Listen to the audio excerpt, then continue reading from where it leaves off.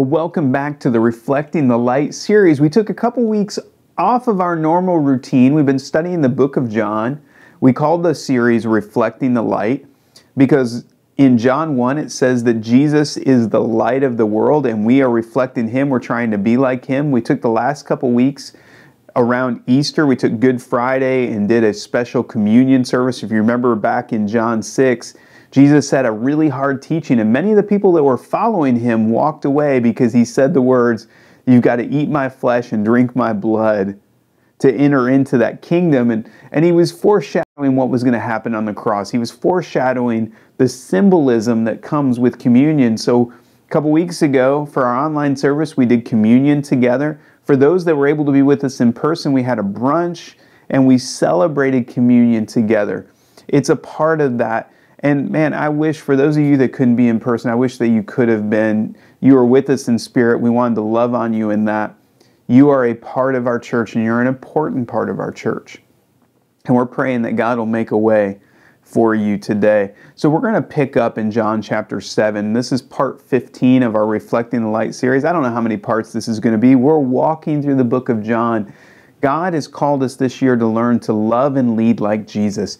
Jesus his mission. We are to become like him. Not that we're to become God, but that we're to love the things that Jesus loved. We're to be against the things that Jesus was against. That's part of our mission as believers, as followers, as disciples. We are to be a part of those things. And so we want to make sure that we do that well. So today, as we go through the Reflecting the Light, I want you to go ahead and turn to John chapter 7. We're going to cover approximately the first 16, 17 verses. We're going to look at a little bit quicker, but I want to just get you up to speed. Jesus was hanging out with his biological brothers. And I say biological, we know that Joseph was not his biological father, that the Holy Spirit came upon Mary and she conceived Jesus and she bore him. And then we know that uh, Joseph and Mary had other children. We know at least James was one of those children, and, and they didn't believe in who Jesus was in the beginning. Matter of fact, they were giving him kind of a hard time. They were kind of ribbing him a little bit. So, this time of year, it was coming up, it was kind of the summertime and the seventh month is kind of where this falls together because we know that because the festival of tabernacles or booths was happening. And so Jesus' brothers were kind of giving him a hard time about going there. See, this festival happens in the autumn. It's a celebration of the, the harvest that's also commemorates Israel's years of wandering in the wilderness when they lived in temporary shelters or Sukkoth or booths. There's a lot of different names for it. But there was they were there and they spent 7 days living basically in tents to kind of remind them of the time that they wandered as a people in the wilderness before God brought them into the promised land after he brought them out of the land of Egypt. So they have this feast every year. And we know that Jesus had, you know, the Pharisees kind of came against Jesus when he healed that man on the Sabbath. And that was approximately when eh, a year before this, because we knew that it happened at that time a year before. So we believe that, that there was about a year between that healing on the Sabbath and this festival. And that brings you to this conversation that Jesus is having with his brothers. His brothers were trying to get him to go to Judea. He was in Galilee. They were trying to get him to go to Judea to go to the festival. And that's where we're going to pick up in John chapter 7, verses 1 through 9, if you want to get there with me. Verse 1 says this After this, Jesus traveled around Galilee. He wanted to stay out of Judea where the Jewish leaders were plotting his death. But soon it was time for the Jewish festival of shelters or booths. There's many names, tabernacles. It's all the same festival. And Jesus' brothers said to him, Leave here and go to Judea, where your followers can see your miracles. You can't become famous if you hide like this. If you can do such wonderful things, show yourself to the world. I read that with some sarcasm because that's the belief, I think that's the tone which they were saying. Like, look, man, how are your followers going to see your awesome miracles? How are you going to become famous if you don't actually show up? If you're out here hiding. They were mocking him, and verse 5 tells us, For even his brothers didn't believe in him. Jesus replied, Now is not the right time for me to go, but you can go any time. The world can't hate you, but it does hate me because I accuse it of doing evil. You go on. I'm not going to this festival. A lot of translations have, I'm not yet going to this festival. However, you do it, he says, Hey, I'm not going right now because my time has not yet come. After saying these things, Jesus remained in Galilee. I want you to get this. Jesus' brothers, those that were closest to him, did not believe in what he was doing. You know, sometimes the greatest ridicule that we will get, the greatest uh, condemnation we will get were, are, is from those that are closest to us, those that know us. God wants to do great things through us, but the people that know us best often miss what God's trying to do, and they can sometimes be our biggest haters, if you want to use that terminology.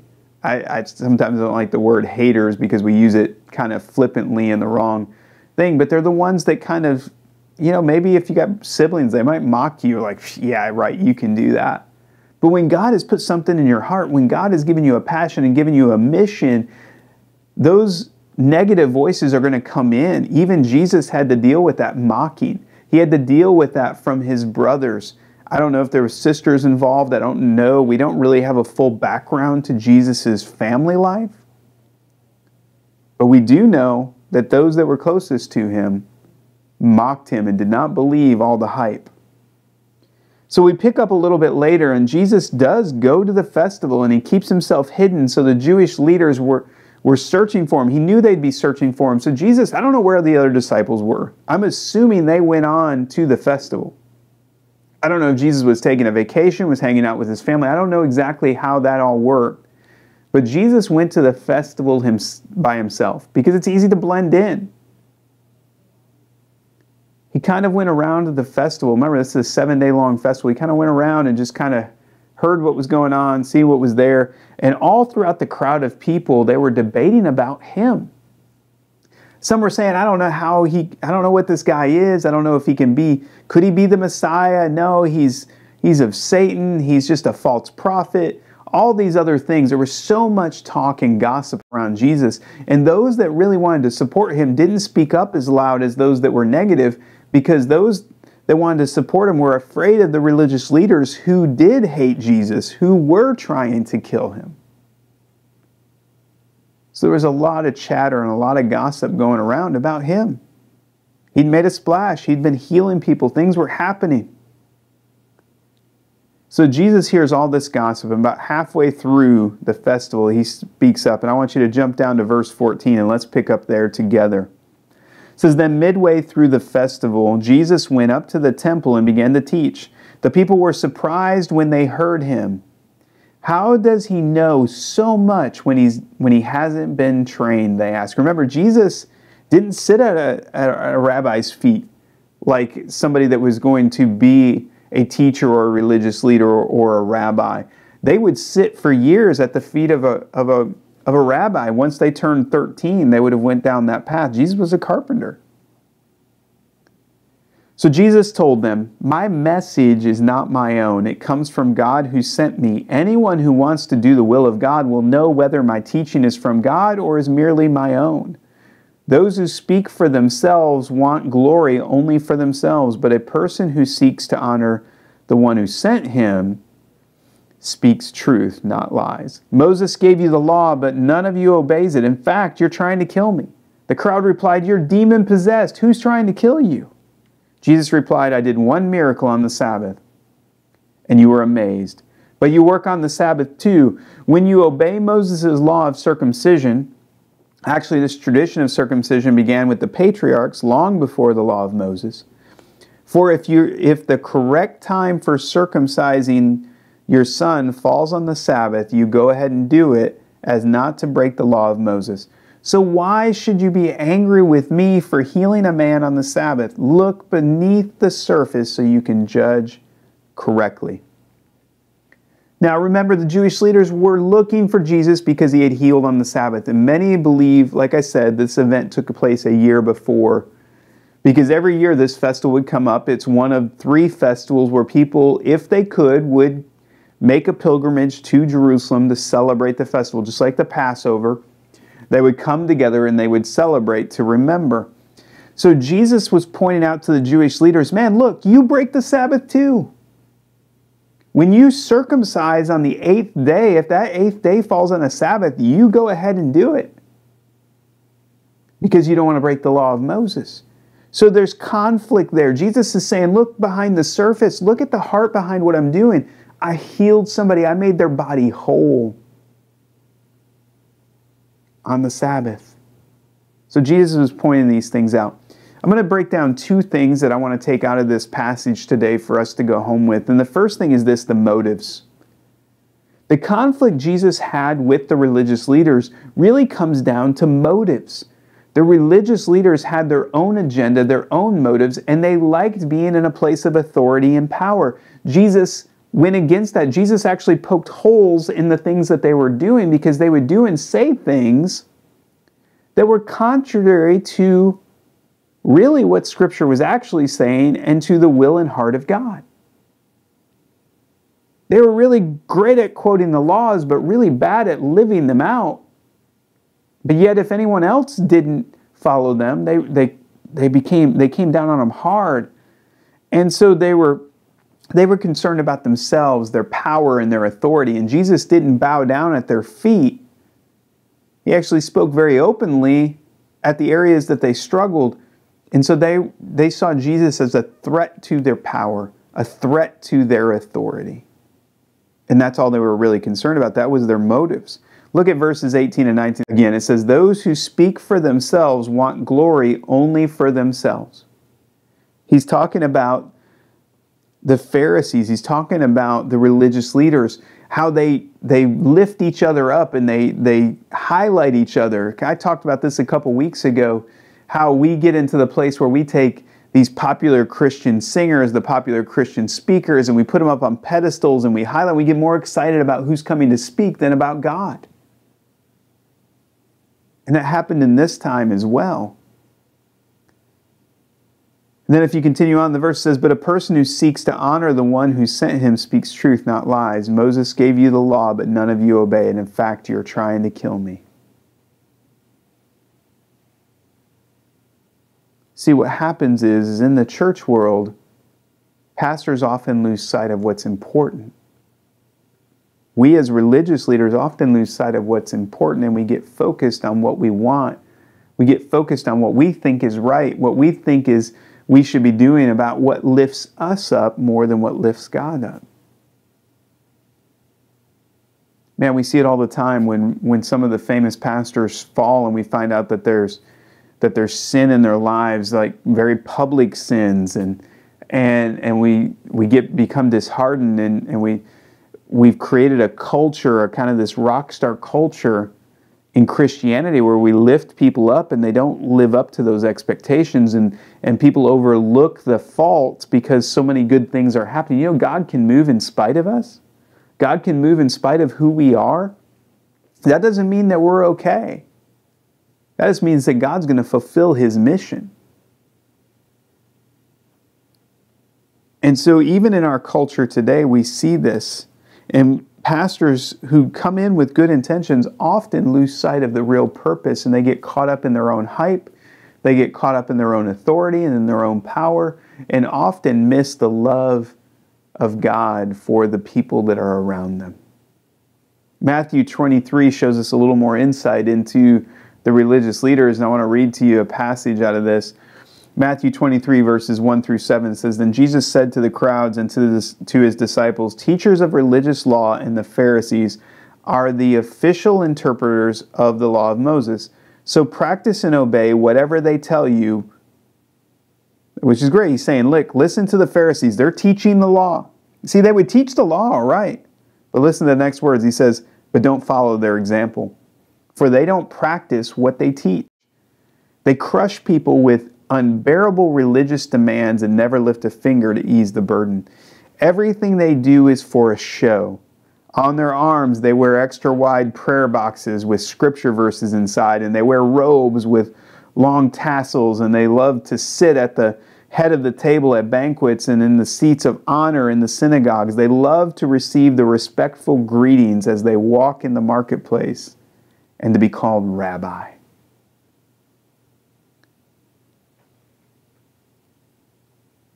This was the beginning of seven woes that Jesus spoke to the religious leaders. I'm not going to go all the way through, it's a long passage, we don't have time. But he was saying, Woe to you, religious leaders because you're all about the show, but you're not about the love of God. You're not about the Father's heart. You know the scripture, you know the law, but you don't know the heart and drive behind that law. You just like that you being able to teach that law gives you authority and that people listen to you and they put you up on a pedestal. Be honest, this is one of the reasons I'm not really big on titles. And I'm conflicted when it comes to a title. People call me pastor because that's what I am. I'm a pastor. It's what God's gifted me and called me to do. Pastor means shepherd, to shepherd people. So when I walk into a business or I go into certain meetings and people address me as pastor, I know that it's a sign of respect. But in a way, I kind of cringe because I see people that rely on their titles. I don't need a title to be a pastor. I'm a pastor because that's who God ordained me to be. There's nothing wrong with the title, but when the title is what we're striving for more than to honor God with what we do, then the title's all the praise we're ever going to have. When we stand before God, we're not going to hear, Well done, my good and faithful pastor. That's the tough part. Because we get caught up in the titles. We, and we love to label people apostle and evangelist and healer and all these things. And yes, we see it in Scripture. We see where people are called apostles. We see those things. But those things are descriptive of who they are by what they do. It's not something that we bestow on people to give them a rank Actually, Scripture says, Woe to you, pastors, because you're going to be judged more harshly. Woe to you, teachers. Yeah, I don't carry it lightly. And I don't often wear the title. I don't introduce myself as pastor very often. Actually, usually doesn't come up into a conversation until somebody says, Hey, what do you do? I'm just Larry.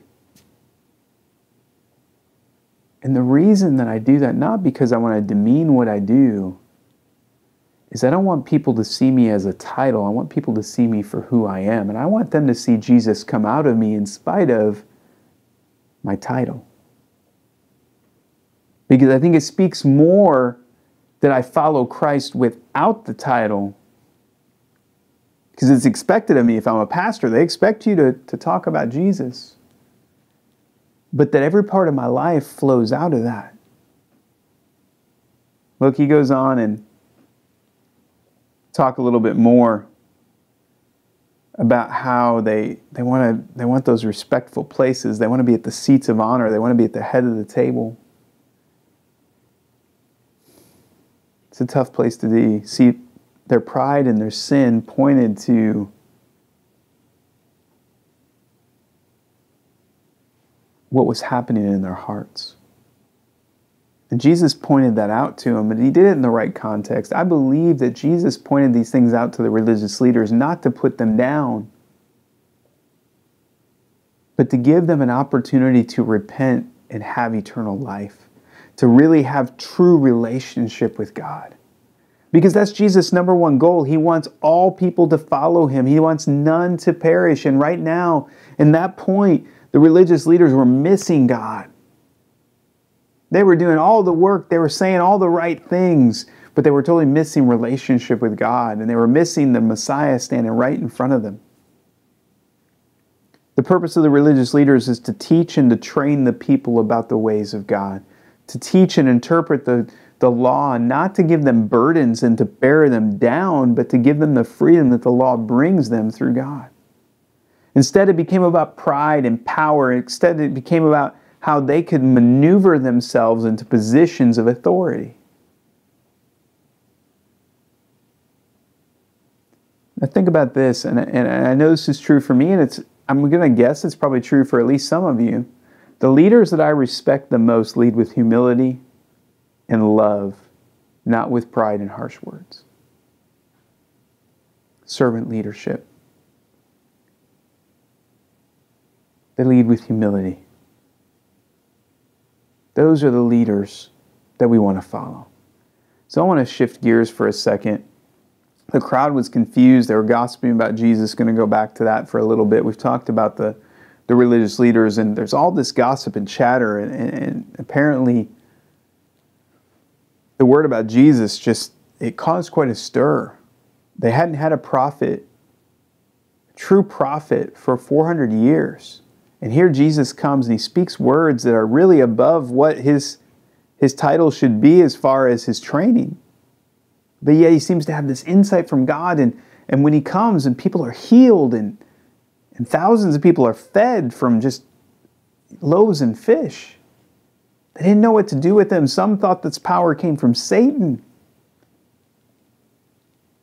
Some thought it was all this big fraud, like he had some kind of magic trick along with it. Maybe you felt that way about some things. You get skeptical, you don't understand, and, and so you kind of feel that way. They didn't know what to make of him, they, but they couldn't deny the miracles. They couldn't deny the way he talked. I mean, look again at verses 14 through 16. It says, Midway through the festival, Jesus went up to the temple and began to teach. The people were surprised when they heard him. How does he know so much when he hasn't been trained? And he gives them the answer My message is not my own, it comes from the one who sent me, it comes from God. Jesus pointed to the source And see, that's where I get the, the key point for us to not be deceived is to go to the source, to go to the Word of God and to study it and to know it. Do you know that you don't need a pastor, a priest, or anyone else to interpret the Word of God for you? Now, there are tools that help because sometimes we get off base. We can take a scripture out of context. So there is a form to it, and that's part of my job is to equip you to be able to do that and to do it well. But it's up to you to study Scripture. It's up to you to know Scripture, not what I tell you, but for you to actually know it. And if you get confused, if you have questions, that's why you have the Holy Spirit. That's why you have pastors and friends and leaders to help guide you through that. Not Google. Google can lead you astray just as quick as anything else. Even with Google, you've got to know the right places to go. He gives you the key to not be deceived in verse 17 says, Anyone who wants to do the will of God will know whether my teaching is from God or is merely my own. Let me read that again. Did you catch that? Anyone who wants to know the will of God will know whether my teaching is from God or it is merely my own. Jesus just said it takes discernment. I know he didn't say that word right there, but he's saying, look, if you're seeking after God, if you're truly hungering after Him, He will help you to know what is right through the power of the Holy Spirit. Anyone wants to know the will of God, whether my teachings are from God or not, you got to go to Him. You got to go to the scriptures. This discernment, this word means to discern, to discover, to understand.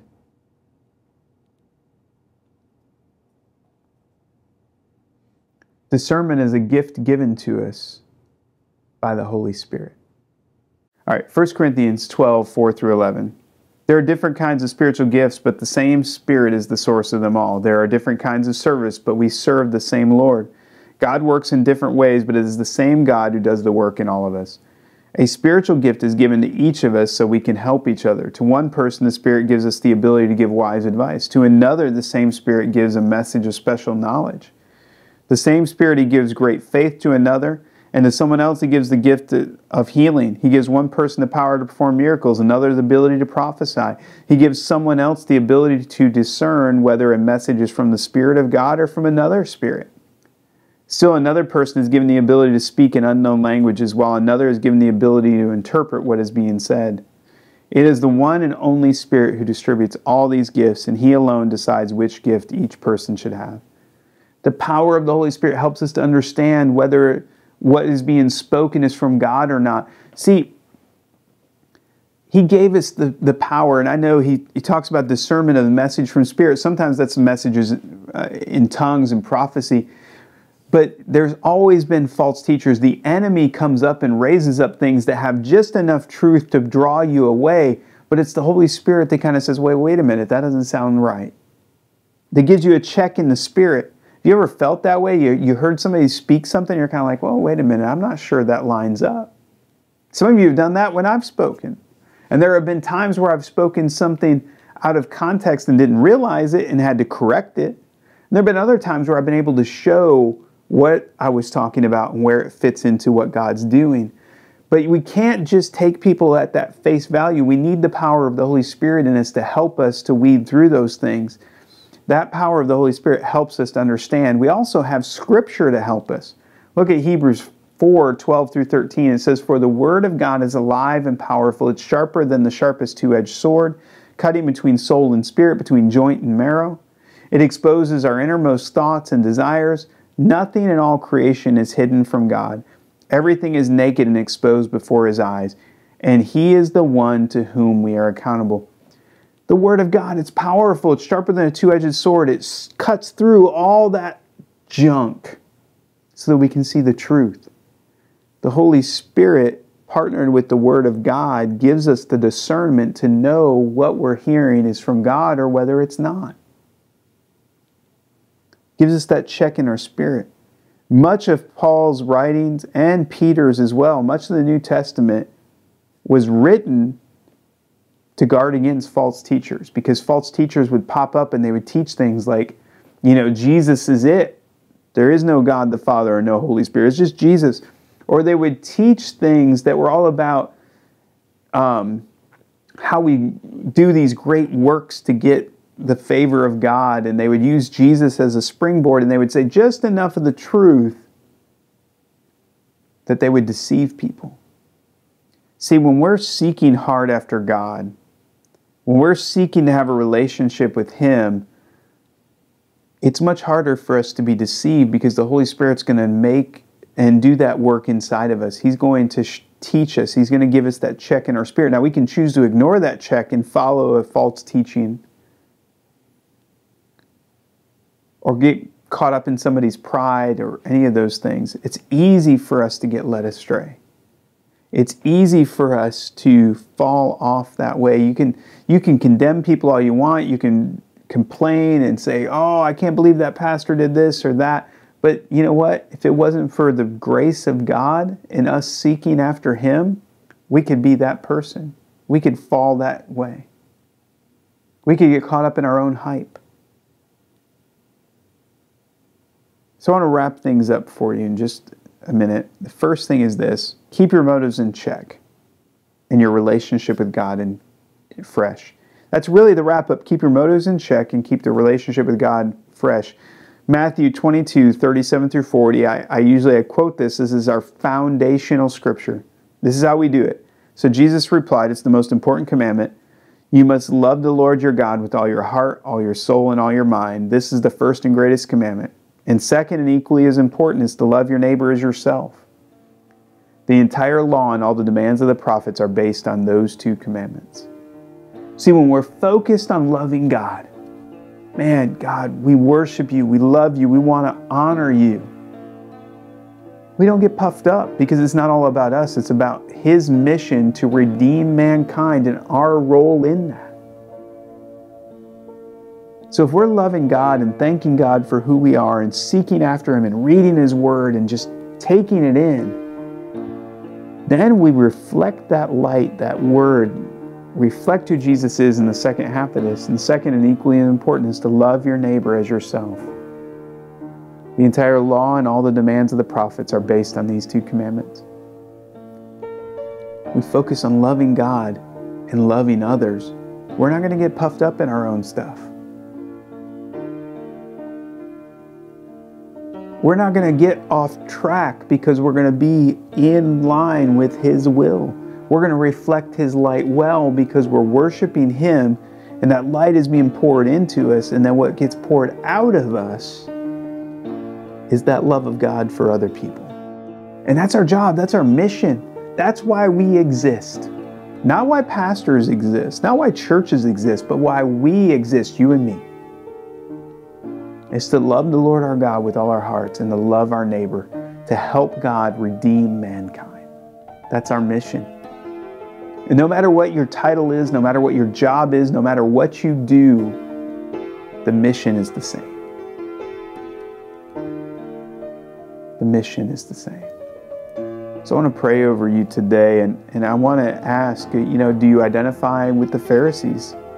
Is there a little check in your spirit going, ooh, that's kind of me? I've been really wrapped up in my title, what people think about me.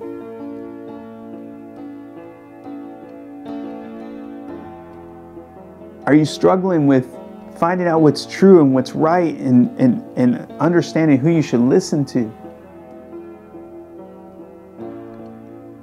Put your focus and your relationship on Jesus. Spend time with Him in prayer. Spend time in His Word. Allow the Holy Spirit to fill your life so that you can know these things. So that you can understand what God is about, so that you can understand how to reflect Him in your daily life. Those are the keys to this now. I want to pray over you today. And if you're struggling with any of this, please click the prayer button and allow our host to talk with you and to pray with you. And we're going to pray together right now. Jesus, I pray over each person that's watching this right now, and I ask that you would fill them with your Holy Spirit. Lord, I pray that pride and ego would be put at check, and that, Lord, we would learn to love you with all our hearts, mind, and soul, and that we would learn to love others the way that you do. Lord, we want to reflect you every day. Help us not to be deceived. Help us not to, to treat others with disrespect, but Father, help us to learn and love the way you do. And I pray right now that your hand will be upon each one. Pray that you would fill us with your Holy Spirit, that you would anoint us to do your work, Lord, that we would live on mission for you, that we would see all of our community redeemed by your love, your grace, and your compassion.